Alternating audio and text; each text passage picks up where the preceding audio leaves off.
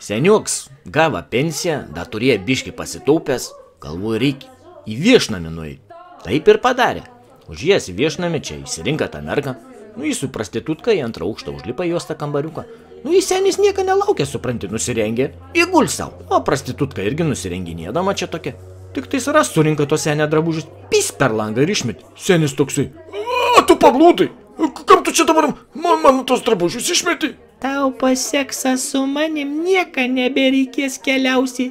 Tiesiai į rojų.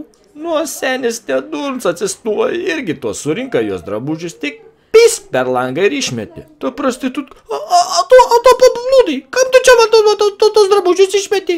Senis, kol tu man bybį pastatysi, tie tavo rūbai jau senai ir iš mados bus išėję.